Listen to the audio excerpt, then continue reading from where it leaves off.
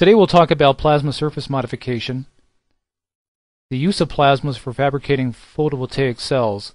We'll talk about the trends in the industry relative to those fabrications. We'll talk about atmospheric dry plasma surface treatment, APT, and its modification effects on those type of materials. We'll talk about how surface preparation and cleaning can take place using this technology and how to exactly prescribe the effect that you need to get on those materials using that technology, and then we'll conclude with some application optimization recommendations. Today, plasma surface modification technology in PV cell manufacturing takes one specific form, and that is the use of vacuum plasmas in the deposition of different types of layers, typically amorphous layers, utilizing plasma-enhanced chemical vapor deposition processes. There is the applying of anti-reflective coatings and surface passivation coatings on thin film solar, and there's also etching being done for edge isolation. However, the use of vacuum plasma technologies will obviously bring chemical waste disposal issues into the fore. That's why there's a new interest in dry technology, technology which will etch the surface in a dry manner, provide the same type of cleaning effects and adhesion promotion that's required. That's why a fresh investigation into this type of new atmospheric and continuous technology is really warranted. The use of these plasmas is really dependent on the type of material that is being treated and the cycle time of that process. Uh, unfortunately, vacuum plasmas do not create that bridge to high volume continuous processing. It's typically a batch process and can work in semi continuous mode but you do have to work on exchanging the materials and returning to a one atmosphere in order to use those materials. It's not an economical process in the end for high throughput etching, cleaning, and functionalizing. The trends in the industry are really to move towards thin film. It is the fastest growing segment of the PV technology uh, industry. Between 2006 and 2015, the compound annual growth rate among all of the uh, types of PV technologies uh, is led by thin film at about 75%. Uh, the reason is because there's a cost advantage relative to using thin film. It reduces the amount of light absorption material required.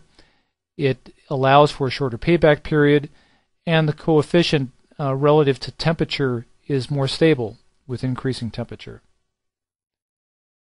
There's also a trend towards the use of organic thin film solar cells on plastic materials. Typically, organic based materials are dissolved within carriers such as solvents or inks, and then printed or coated onto the plastic substrate in a roll to roll regime. It's less expensive than using silicon, cadmium, or tellurium, and its prototypes are now in production. An example of a construction that typically use a, a plastic carrier includes a top layer of plastic, a coating of a prepolymer adhesive, and then conductive layers, followed by additional coatings and the application of a polyester film with a silicon oxide coating. Another example is to use organic inks, and these inks will allow extra, actually like electrons pass to an electrically conductive polymer layer onto the plastic substrate. So there's a wide range of materials that are being used uh, in the development of flexible solar uh, to maximize their efficiency. There are opportunities to integrate a continuous inline process, not only for flexible, but for rigid flexible. And there's this utilization of atmospheric gas phase plasmas, which allow you to use variable chemistries to activate dissimilar materials to improve efficiencies. There are a number of different regimes for the use of atmospheric plasma. The upper left corner is an atmospheric plasma discharge over a flexible substrate.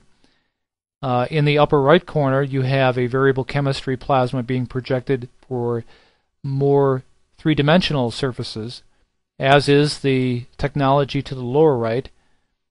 And the technology to the lower left is a technology using ion diffusions or ion discharges that will create an effect uh, that is similar to cleaning and promote the adhesion to a surface. The use of atmospheric plasma technology is based on the fact that it is the fourth state of matter. It is a mixture of different types of species, ions, and electrons primarily, generally in equilibrium, meaning that they are in a state that is not negative, not positive, but neutral. This plasma soup is again constructed of different types of species, including photons and ions and electrons. Uh, there is the oxygen molecule that is associating and dissociating within that plasma, and ultimately creating a bombardment to the surface of the material being treated. So the recipe for creating that type of a surface effect is, for instance, to take a photon, liberating it from a gas molecule, and then accelerating that species into the electrical field where it collides with other gas molecules and then on the basis of kinetic energy uh, frees more electrons and ultimately creates an avalanche of electrons to the surface of the material, creating a change. This animation actually gives you a better representation of what's going on. We have reactive gas molecules that are bombarding the surface, knocking off low molecular weight organics such as water and other types of absorbed gases and other types of fragments and, and contaminations that are on the surface, exposing a clean surface that can be treated with a variable chemistry that ultimately can impart and create a bondable substrate. The surface becomes activated by a free radical effect, and then ultimately the deposition of specific types of chemistry, hydroxyl, carbonyl, carboxyl, carboxylic amino carboxyl, and other types of groups are induced to the surface to create the bond that's required. More animation here demonstrates other types of pathways to creating a chemical bond at the surface, specifically of polyolefins, which we know are composed of carbon and hydrogen species. The reactions that take place at the surface initiate a bond after atomic oxygen is, or reactive atomic oxygen, is created at the surface. That abstracts a hydrogen atom from the surface and then ultimately creates a surface that can react with other materials to create a bond.